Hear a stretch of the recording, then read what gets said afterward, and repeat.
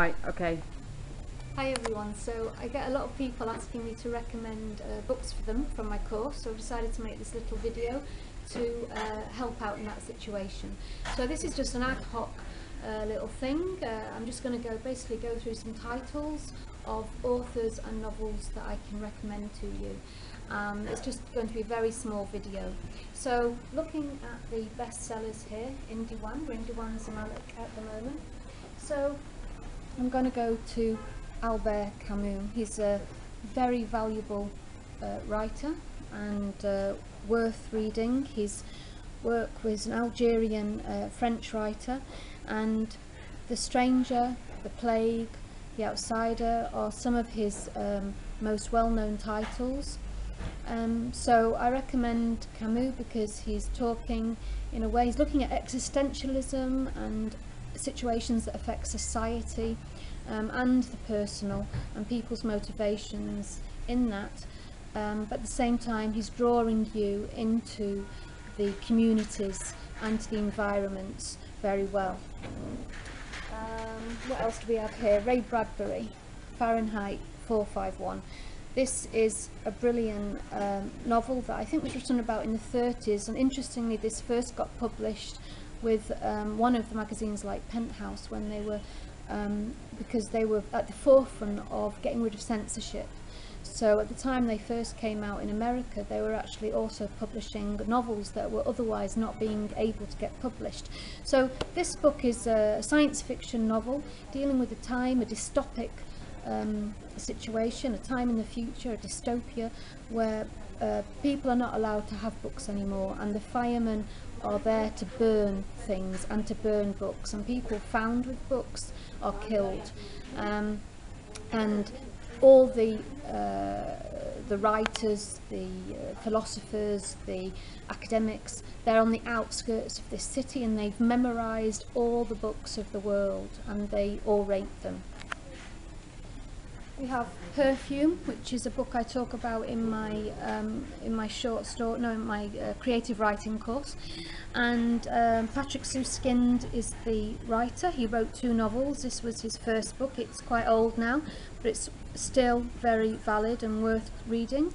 Um, essentially, the tale of a very maligned character who becomes a serial killer in um, in rural France um, at the turn, I think, of the 19th century, but I could be wrong on that. Um, but it's beautifully written, very lyrical, verbose, but great description, and essentially he's using and coming back to the idea of the olfactory sense throughout the entire book. What else do we have? Khaled Hosseini. So we've got the Kite Runner and A Thousand Splendid Suns. Actually, I didn't read the Kite Runner yet, but A Thousand Splendid Suns, amazing tale, so beautiful. The tale of this women's friendship in very difficult circumstances and what they have to endure in uh, the situation they're in, ruled by the patriarchal society um, and the religious society. It's an amazing book, um, well worth reading. What else do we have here? We have Murakami, and here, and here, um, and probably elsewhere here as well. So Murakami is one of my most favourite writers. This is the book that he got famous with. So Norwegian Wood uh, is what he got famous with. It also got made into a film, great film. Um, I think if you haven't read Murakami before, you might want to start with Kafka on the Shore. Um, this is, I think, one of his best put together books. I would leave things like his latest work, Colourless Tsukuru Tazaki and uh, IQ84. This is a trilogy and uh, will be more interesting to people who know him um, and his work. Um, Marquez, Love in the Time of Cholera, but of course Marquez's most famous work is A Hundred Years of Solitude, which is in the store, it's just not here, um, or not that I can see it.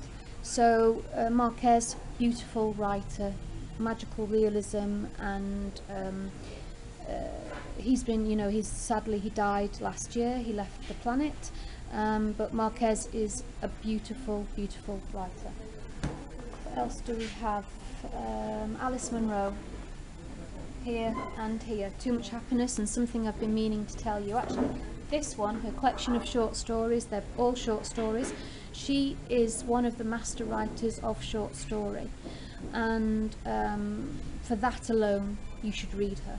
She is brilliant. And this especially is one of her better collections of short story.